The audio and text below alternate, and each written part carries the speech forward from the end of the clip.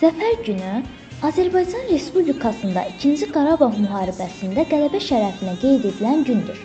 Prezident İlham Əliyevin 2020-ci il dekabrın 3-də imzaladığı Azərbaycan Respublikasında Zəfər gününün təsis edilməsi haqqında sərəncama əsasən qeyd edilir.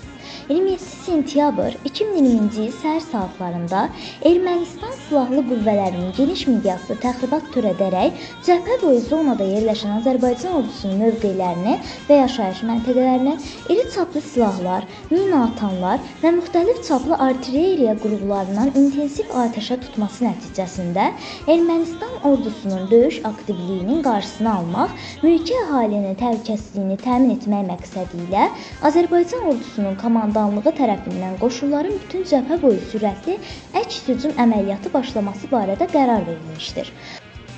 Qarşıdurmalar qısa müddətdə sürətlə alovlanmış və 2-ci Qarabağ müharibəsinə çevrilmişdir.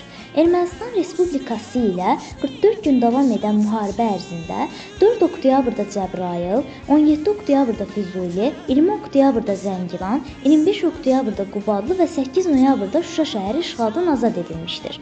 Moskvada imzalanan müqaviləyə əsasən noyabrın 10-u Bakı vaxtı ilə gecə saat 1-dən etibarən Dağlıq Qarabağ münaqişəsi zonasında atəşin və hərbi əməliyyatların tam dayandırılması, 1 dekabrda Ermənistan qüvvələrinin Dağlıq Qarabağın ətrafında Ermənistan nəzarətindəki Azərbaycan ərazilərindən çıxarılması və Naxçıvan Muxtar Respublikası ilə Azərbaycanın qərb rayonlarını birləşdirən yeni nəqliyyat kommunikasiyalarının inşasının təmin edilməsi elan edilmişdir. 2020-ci il noyabrın 20-sində Ağdam, noyabrın 25-də Kəlbəcər, dekabrın 1-də Laçın rayonları azad edilmişdir. Azərbaycanda Zəfər gününün təsis edilməsi haqqında prezidentin ilk fərmanı dekabrın 2-sində verilmişdi.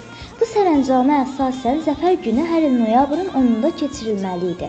Lakin dekabrın 3-dən noyabrın 10-unun Türkiyədə Mustafa Kemal Atatürkün anım günü olduğunu nəzərə alaraq Azərbaycan Respublikasının prezidenti cənab İlham Əliyev Zəfər gününün tarixinin dəyişdirilməsi barədə qərarlar qəbul etmişdir. Şuşa şəhərinin və onun işğaldan azad edilməsinin tarixi əhəmiyyəti nəzərə alınaraq qələbə Zəfər günü hər il noyabrın 8-də təntənəli şəkildə qeyd edilməsi qərarı almışdır.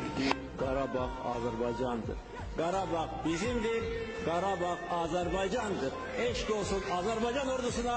Yaşasın Türkiyə Azərbaycan dostluq qardaşlığı. Yaşasın Azərbaycan